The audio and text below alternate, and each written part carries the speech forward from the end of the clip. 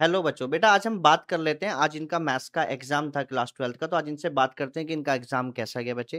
बेटा क्या नाम है आपका? सर मेरा नाम मेहुल आनंद।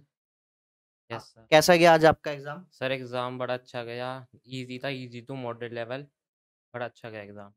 जितने क्वेश्चन्स आपने यहाँ पर क्लास में करे, लास्ट टाइम में आपने एग्ज़ाम से पहले करे, उससे आपको कितना बेनिफिट्स हुआ? सर ऑलमोस्ट या सिमिलर सारे क्वेश्चन वहीं से दिखे, जैसे आपने लास्ट फ्यू डेज़ में जितना एमसीक्यू यूट्यूब पे लाइव लिया, सब हमें माइंड मैप्स दिए, तो सब वही मतलब सिमिलर था या एग्ज़ैक्ट सेम था, वही दिखा पेपर में, कॉन्सेप्ट एकदम बिल्कुल सेम थे।